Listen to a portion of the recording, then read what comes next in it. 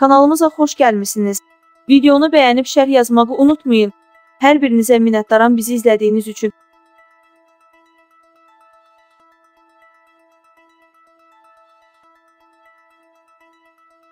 İmişli rayonunda 11 yaşlı uşağı zorlamaqda ittiham edilən Qurban Fərəcovun sosial şəbəkələrdə fotosu yayılıb.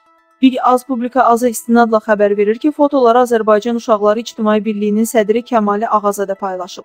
Qurban Fərəcovun 11 yaşlı uşağın atalığı olduğu bildirilir. Onu da qeyd edək ki, əmisi Qurban Fərəcovun artıq həbs olunduğu söyləyib. Pedofillikdə ittiham olunan və 11 yaşlı qıza cinsi təcavüz edən şəxsi sosial şəbəkələrdə paylaşılan fotolarını təqdim edirik.